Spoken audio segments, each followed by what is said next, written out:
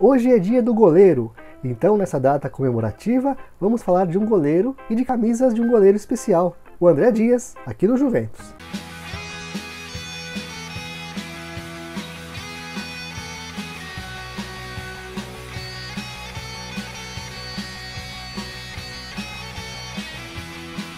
E aí pessoal, tudo bem? Sejam bem-vindos a mais um vídeo do Manto Juventino. E hoje se comemora o dia do goleiro, dia 26 de abril, é o dia do goleiro, né? Uh, então nós resolvemos aproveitar essa data para falar de algumas camisas que o André Dias usou no Juventus. O André Dias é o jogador que está há mais tempo no clube nesse século, jogador que fez mais jogos com a camisa do Juventus nesse século. Hoje aqui nós vamos falar sobre algumas camisas, algumas não, todas as camisas que o André Dias usou no Juventus. Para essa nossa compilação, nós não vamos considerar mudanças de patrocinador, porque são muitos, né? Nós estamos considerando os modelos diferentes e os fornecedores diferentes. A gente começa então em 2014 com essas camisas aqui. O André Dias fez a estreia dele pelo Juventus e os primeiros jogos com uma camisa azul, com dois, com dois tons de azul. Essa camisa, inclusive, a gente já mostrou aqui no canal no segundo vídeo, ou terceiro, não sei, lá no comecinho do canal. Tá aqui para vocês verem essa camisa. Não, não reparem que o vídeo é muito curto, muito rápido, a gente vai mostrar de novo essas camisas com mais tempo, com mais qualidade. A gente estava começando o canal, né? Então aí peguem leve com a gente nesse aspecto aí, a gente estava aprendendo ainda. Depois uma camisa cinza, né, feita pela Deca. Também teve uma camisa preta. E teve também uma camisa celeste com o número 100 nas costas, né? Essa camisa foi usada em comemoração às 100 vitórias do Juventus em Copas Paulista. Então, foi uma camisa usada em um jogo só. A gente não tem essa camisa no nosso acervo. Se você tiver por aí ela e quiser negociar com a gente, entre em contato, hein? Bom, passamos para 2015. E aí, em 2015, o Juventus mudou de fornecedor. Não era mais a Deca, era a Superbola. E a Superbola trouxe duas opções de cor, a laranja e a cinza. As duas tinham uma espécie de degradê com bolinhas, né, que deixava a camisa um tom mais escuro na parte de baixo. Mas tem uma curiosidade, né? A camisa laranja, ela possuía duas versões, uma com a gola branca e outra com a gola grená. Nós já falamos também sobre isso, tem um vídeo aqui que nós mostramos essa diferença, que é uma curiosidade muito interessante, porque a camisa com a gola branca foi usada em alguns jogos, mas a camisa com a gola grená é a mais conhecida e também a que está no catálogo, é a camisa que foi para as lojas para ser vendida também. A camisa com a gola branca ficou mais como uma curiosidade, talvez um erro do fornecedor, né? nunca vamos saber o motivo dessa variação. Bom, em 2016, o Juventus continuou com a Superbola no primeiro semestre. A Superbola tinha oferecido três opções: uma opção dourada, uma opção preta e uma opção azul. A opção dourada não chegou a ser utilizada. E no segundo semestre, o Juventus foi atendido pela boa e velha Deca. Nós tivemos uma camisa preta com uh, uma faixa uh, vertical azul, nós tivemos uma camisa dourada, inclusive essa camisa dourada tinha o mesmo desenho da camisa de 2011 da Deca, a Deca reciclando seus templates, né, seus modelos. Essa camisa também num tom meio roxo, meio azul. Tivemos uma camisa preta com três listras vermelhas, né, uma camisa meio Adidas aí. E tivemos uma camisa inteirinha azul celeste também, então a Deca veio com muitas opções diferentes e variadas aí.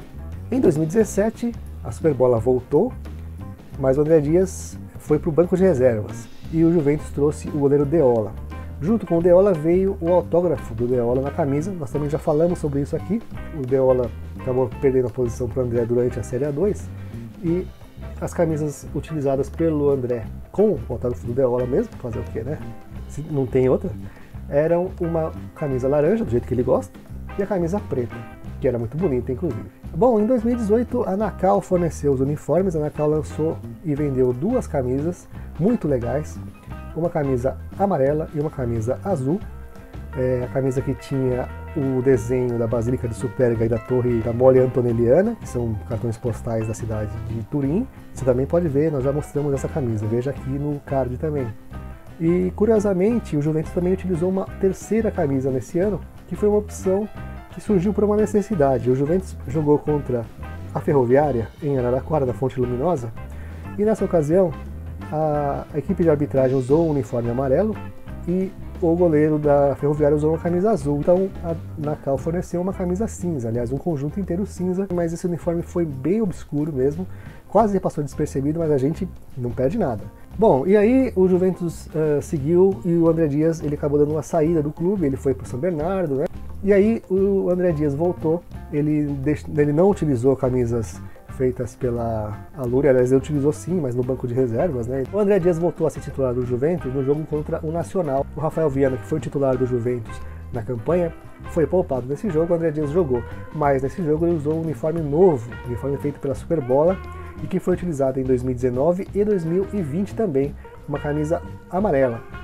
E em 2020, uh, o André Dias voltou a ser titular do Juventus, além da camisa amarela, ele utilizou uma camisa cinza e uma camisa preta. Inclusive a camisa cinza tinha uma coisa curiosa, ela não tinha o símbolo da Superbola do lado. Provavelmente foi um erro de fabricação, passou despercebido, ninguém se importou com isso muito aí, e ficou por isso mesmo. Bom, chegamos agora a 2021 e você vê nas fotos aí que a Superbola lançou uniformes muito parecidos com os 2020 para os goleiros, né? Um, são bem bonitos, são bem legais, as cores são as mesmas, a cinza e a preta.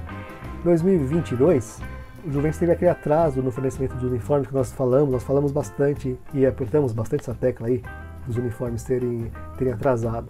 E o Juventus continuou utilizando os uniformes velhos, e mesmo com a chegada dos uniformes novos em atraso, as camisas de goleiro demoraram um pouquinho mais, elas só foram aparecer é, já aí no fim da Série A2, e só a camisa preta foi utilizada, a camisa modelo 2022. Vamos recapitular as camisas? 4 em 2014, 3 em 2015, em 2016 sete camisas diferentes, em 2017 mais duas, em 2018 três camisas novas na coleção do André Dias, em 2019 uma camisa só, em 2020 essa camisa foi acompanhada de mais duas, em 2021 mais duas camisas. E em 2022 apenas uma camisa nova, totalizando 25 peças. Deu quase aí o número de dias no mês que é o dia dessa festa de hoje. Aliás, por falar em festa, por falar em evento, neste sábado vai ter a exposição de camisa de goleiro, não, a exposição de camisas do Juventus. E vai ter de goleiro também, claro. Mas vai ter uma exposição de camisas do Juventus lá na sede social do Juventus, na rua Comendador Roberto Golini. E a gente espera você lá com camisas raras, históricas e, e muito legais do Juventus. A gente espera você também para a gente bater um papo sobre camisas. Se você puder ir, nós esperamos você lá. Curta esse vídeo se você gostou, compartilhe com seus amigos juventinos, se inscreva no canal se você ainda não faz parte do nosso canal aqui. Faça parte, se inscreva aqui que você vai gostar das coisas que a gente vai mostrar para você. A gente se vê no próximo vídeo. Até mais. Um abraço.